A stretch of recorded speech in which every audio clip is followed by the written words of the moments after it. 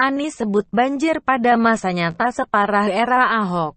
Anies Baswedan kembali menyinggung soal banjir di era gubernur sebelumnya yang menurutnya lebih parah dibandingkan banjir yang terjadi beberapa pekan terakhir.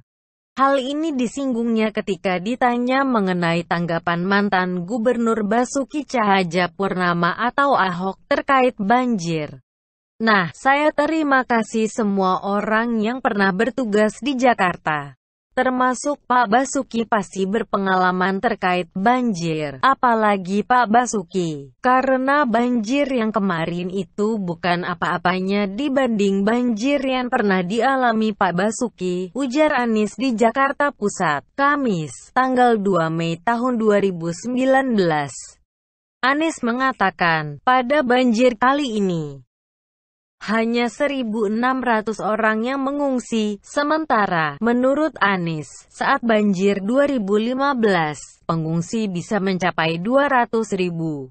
Jadi beliau memang pernah mengalami situasi yang sangat sulit dibandingkan dengan apa yang saya alami kemarin. Hanya 1.600 orang yang mengungsi.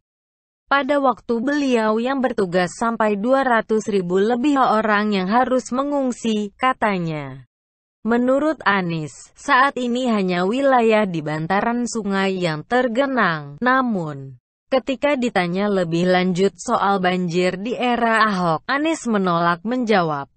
Anda cek data saja, jangan ke saya dong. Tugas jurnalis, masa jurnalis cari di narasumber. Cukup ya, ujar Anies. Tiga hari lalu, Anies juga menyampaikan hal serupa. Ia meyakini dampak banjir kali ini tak separah 2015. Coba bayangkan tahun 2015 ada 230 ribu orang mengungsi, kemarin 1.600 orang. Kenapa terjadi? Karena volume air dari hulu tidak dikendalikan. Jadi kalau dibandingkan 2019 sangat kecil dibandingkan dengan 2015 ucap Anies di Balai Kota, Jakarta Pusat, Senin, tanggal 29 April tahun 2019.